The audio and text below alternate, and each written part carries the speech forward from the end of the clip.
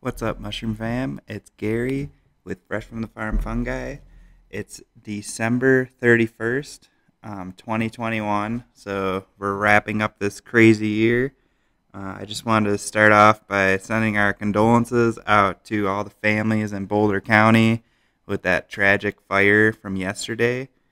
Um, I hope everyone's okay and everyone can move on from the horrible tragedy of the uh, never ending fires out here in the West.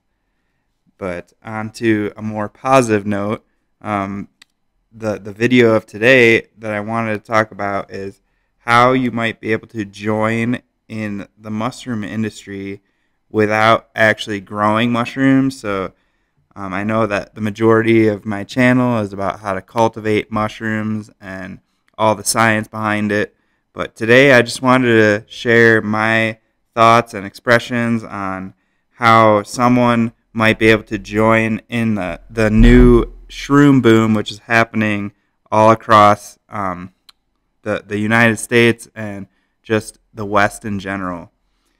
So I think that the first option, if you um, can't cultivate mushrooms for whatever reason, maybe you don't have the space or you just don't have the knowledge and skills, um, you can always go foraging for mushrooms. So um, it's really important that you have the knowledge before you go out and pick mushroom and eat it. So I recommend taking a class or multiple classes and joining your local mycology society. Uh, here out in Boulder, actually, um, my friend Michael Heim, he does private forays with Enso Farm and Forage and I've done that with him in the past, and it's really fun, and it's a good way to understand the environment that mushrooms typically grow in, and also he's right there to help you identify all the mushrooms that you find. Um, if you haven't been to the Telluride Mushroom Festival, I highly recommend going there. There's tons and tons of um, forays and really knowledgeable people that can guide you on your adventure in the woods um, trying to find mushrooms. And then if you haven't checked out our video with Foraged Dot Market, um, our friends over in North Carolina are establishing a wild food market um, over the internet. So there's definitely a lot of opportunities out there for foraging if you are more into wandering around in the woods than um, a precise grow environment um, that I usually talk about here on this channel.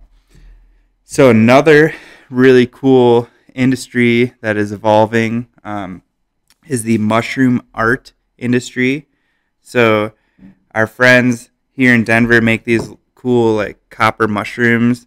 Um, and I'll be posting some of these on Etsy soon. But um, the the mushroom art industry, especially on Etsy, is starting to explode. Um, there's some really cool uh, prints, and I got this uh, this funky lamp that has like little glow in the dark mushrooms that you put on your wall.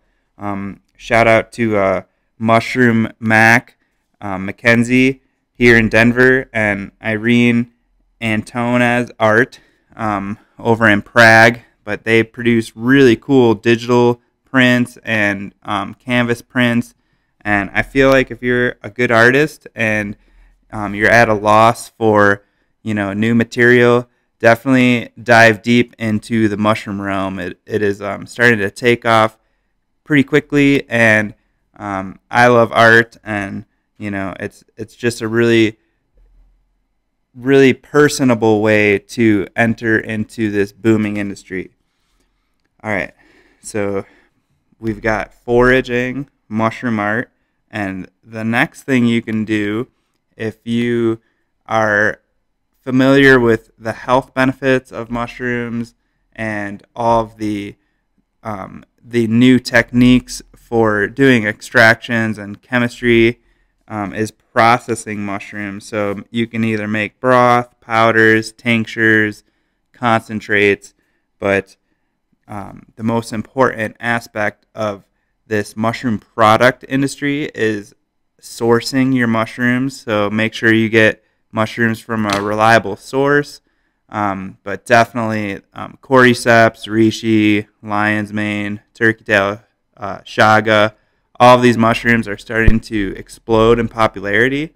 So there's a huge opportunity for what I call mushroom processing or just um, medicinal mushrooms in general.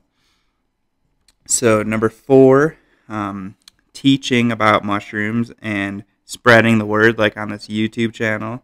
There's definitely a huge demand for knowledge.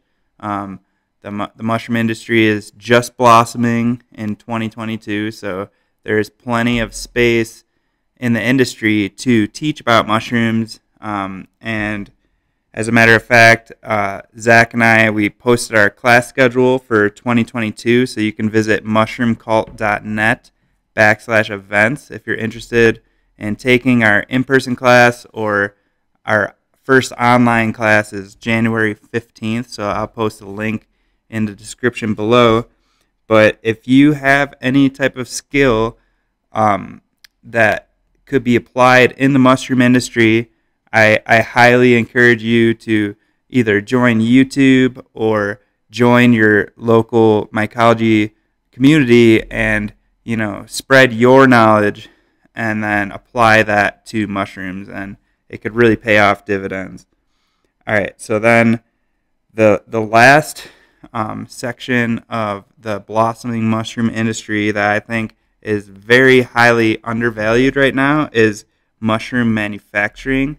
So back in April, I visited the uh, the hemp expo here in Denver, and there was a few different companies that were producing um, packaging material, mushroom leather, um, insulation, construction material, um, they were using hemp and mycelium, and I believe that um, the textile industries with with dyes, um, more natural products, as you know, the mushroom industry evolves, there's going to be a lot of byproducts, and I think that mushroom manufacturing is definitely going to take off in the very near future.